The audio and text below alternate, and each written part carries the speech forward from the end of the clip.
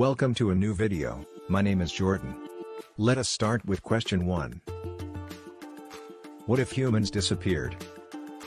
I would just use my human machine. Why do you have so many random ideas Tom? A human machine does not even exist now it's time for the real ideas for starters. No humans means no global warming meaning peace to the animals secondly. No humans means no more garbage meaning no food for the foxes, rats and mice and they would slowly go extinct thirdly. Just a few hours after humans disappear all the lights in the world would switch off and all the animals in the world will live in darkness apart from the moonlight fourthly. Pet and farm animals will die out due to starvation and dehydration fifthly, all the cooling water and nuclear power plants will slowly evaporate and because of this explosions more dangerous than Fukushima and Chernobyl will occur sixthly, all planes, boats, cars and trains would disappear due to no maintenance.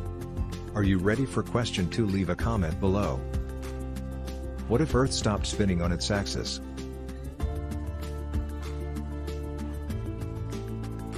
It would gain weight. If Earth stopped spinning it would not gain weight but everything that is not rooted to the ground would fly off because even if the Earth is not spinning its atmosphere is still in motion. Secondly, Earth produces a force called a centrifugal force and this force is responsible for the huge bulge of water around the equator. But if the Earth stopped spinning all the water would be sent to the poles as the gravity there is the strongest leaving behind a giant landmass. Thirdly even if the Earth stopped spinning it would still be revolving around the Sun and because of that we would have a 6-month day and a 6-month night. Fourthly, some scientists believe that that magnetic field is there because of the Earth spinning on its axis so if Earth was not spinning there would be no magnetic field thus there would be lots of solar winds from the Sun and life won't be able to survive in such conditions.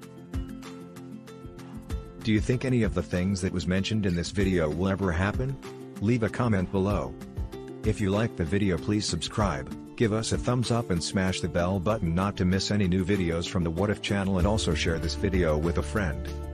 Hey Tom don't touch my slime kit, I'll have to go so that I can prevent Tom from touching my slime kit so I will see you guys later bye.